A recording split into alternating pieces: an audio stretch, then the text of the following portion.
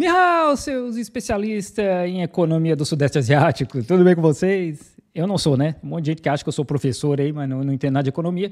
Mas vamos ver qual é o plano da China para acabar com a indústria brasileira. Eu não faço ideia de quem é esse cara, nunca vi esse canal. Me mandaram lá no Instagram, inclusive me sigam lá no Instagram, Felipe.durante, mande sugestões de reacts que eu preciso. Meus amigos, no nosso bate-papo de hoje a gente vai trocar uma ideia sobre a China. A China que está passando por um momento complicado, está passando por uma é crise. E quando a China entra em crise, ela começa a se movimentar. E quando ela começa a se movimentar, os países do mundo inteiro começam a ficar de olho na China. Porque... em crise, vai crescer só 6% esse ano, tá fraco. É, esse movimento da China geralmente é para quê? Para aumentar a quantidade de ofertas de produtos mundo afora. Ou seja, a China é uma grande fabricante de tudo quanto é que é produto né, no mundo inteiro. Basicamente, tudo é fabricado na China, é produzido na China. E a China, ela tem esse poder de conseguir diminuir drasticamente o preço desses produtos para conseguir vender mais. Esse é o grande hum. lance da China. Se ela está passando por crise, ela vai vender os seus produtos para arrecadar cada vez mais dinheiro. E vendendo, geralmente, esses produtos por um preço muito, muito mais barato. E aí é que hum. entra o grande problema. Né? Se vende esse produto muito mais barato, as indústrias mundo afora começam a passar por problemas problemas. Inclusive, aqui no nosso país também começa a ter problemas. Só que o nosso governo, o governo brasileiro, está começando a se movimentar e está se valendo de uma lei, uma lei chamada Lei Anti-Dumping, que eu vou explicar para você exatamente o que é dumping, o que é essa lei anti-dumping mais para frente. Mas o governo brasileiro está utilizando essa lei para barrar a entrada de produtos da China aqui no nosso. Mas já existe faz tempo, né? Por exemplo, é proibido importar livros e materiais impressos da China, justamente o preço aqui é muito barato. É, tem uma, uma taxação muito grande para sapatos, ou também é, é, proibido, né? Calçados, ou é proibido ou tem uma taxação muito grande. Tem uns produtos de cerâmica, como caneca, que a taxação também é bem grande. Isso aí não é novo, isso já acontece há muito tempo. O país. Até então, tudo bem, só que isso é um problema. Por quê? Porque essa lei é meio que um cheque em branco, dando total autonomia para o nosso governo escolher, de repente, os produtos que podem ou não entrar dentro do nosso país, caracterizado ou não como dumping. Então fica comigo até o final desse nosso bate-papo para você entender como que isso já está impactando na nossa mesa e como isso vai continuar impactando aqui na nossa economia nos próximos meses. Vamos lá, Vamos antes lá. de entrar a fundo aqui no nosso bate-papo, vou fazer o que eu faço sempre aqui no nosso bate-papo é o seguinte: pedir seu like logo aqui no início. Um Você que já conhece o nosso trabalho, sabe que a gente vai entregar um conteúdo justo, um conteúdo show de bola. Deixa o seu like logo aqui no início. Agora, se você caiu de paraquedas no canal, aguarda, acompanhe o conteúdo até o final. Se em algum momento você perceber que esse conteúdo agregou algum valor para você, aí sim faz sentido você deixar Honesto. o seu like e se inscrever no nosso canal também. Olha Caramba. essa matéria que saiu aqui na Folha de São Paulo Governo investiga a prática de dumping por produtos da China após o aumento de importações. Medidas surgem em um momento em que o mundo se prepara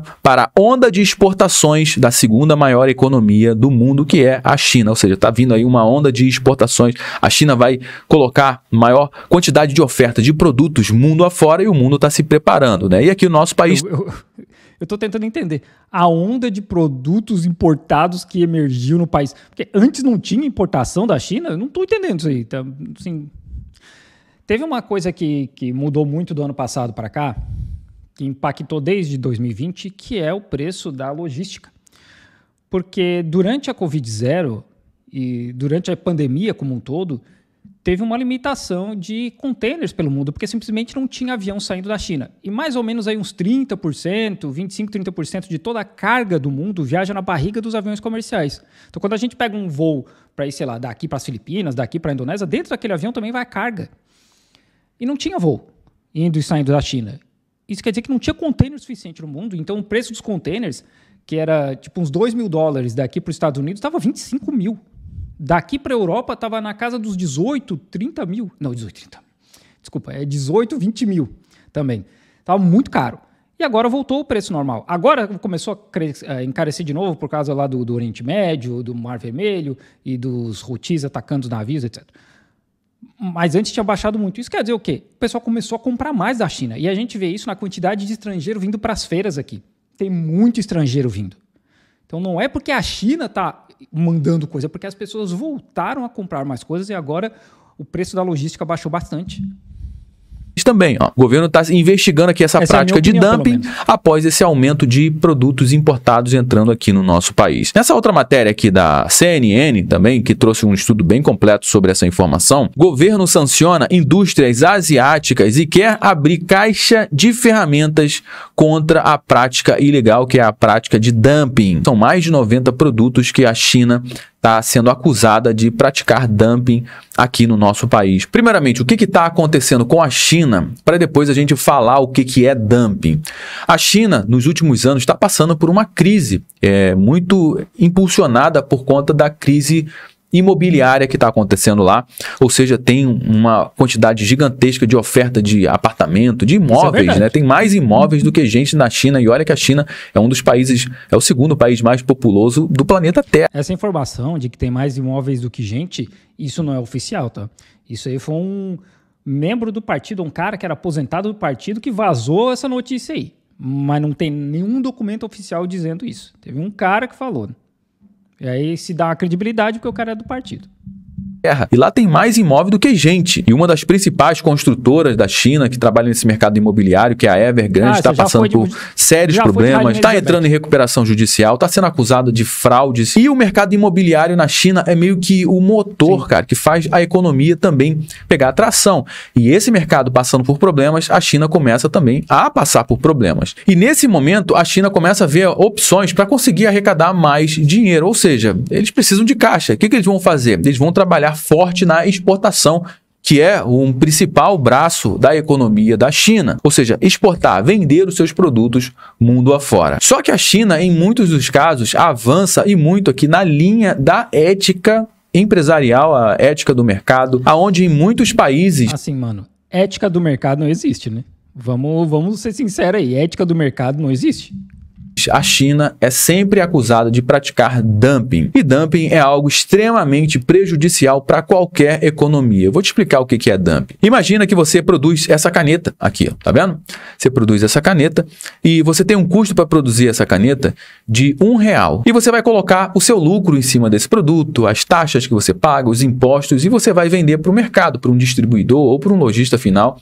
Vamos supor que você venda essa caneta aqui Lá no final, por dois reais, você está ganhando um real a cada caneta vendida. Só tem um problema: esse produto é vendido no mercado por R$ 1,50. E para você vender essa caneta a R$ 1,50, você vai acabar tendo prejuízos, porque não é, a conta não vai fechar no final das contas, porque tem estrutura, tem várias coisas para você pagar e a conta não fecha. Só que você tem uma capacidade absurda para produzir esse produto, tem uma indústria muito forte. O que, que você pode fazer? E é o que a China faz em muitos dos casos você vai começar a vender essa caneta com prejuízo. Para quê? Para que você tome o mercado de canetas na sua região. Se... Mas só a China faz isso, tá? Estados Unidos, Europa, ninguém faz. Ninguém. É a ética do mercado é 1,50 que está sendo vendido lá, beleza.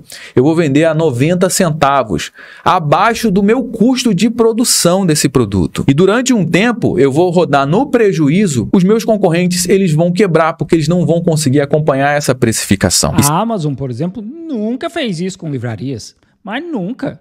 Não, a Amazon joga na ética do mercado. Se alguém vender a 80 centavos, você vai lá e vende a 50 centavos para acabar de vez com esse seu concorrente e depois você vai lá e compra esse seu concorrente e você, no caso, está dominando um mercado.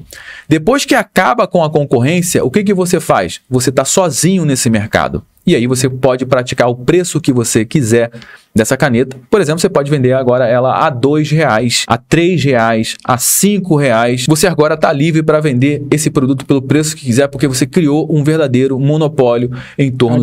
Descreveu o capitalismo. Mirou no comunismo e descreveu o capitalismo desse produto.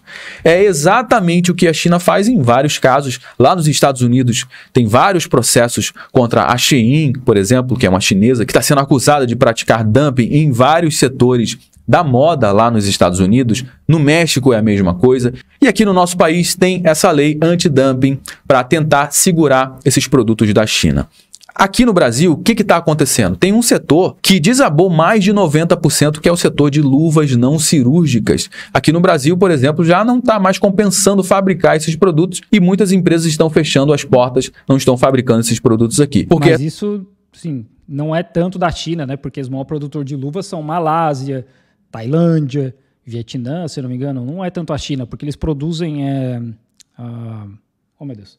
Aquele negócio que sai da, da seringueira, o látex. Eles produzem lá, né?